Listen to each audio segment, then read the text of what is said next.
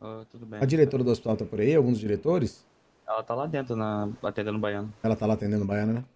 Uhum. Não, é porque aconteceu um acidente ali, entendeu? Infelizmente os rapazes foram aí e não vão voltar. Se é que você me entende, se houver um chamado ali da região da favela ali, é porque Da realmente, é, infelizmente não é pra voltar, entendeu? Qual das duas? Que pena, da pedreira. Ah, é, que pena. Eita, foi menos um. Ah, acabou de chegar o chamado. Ah,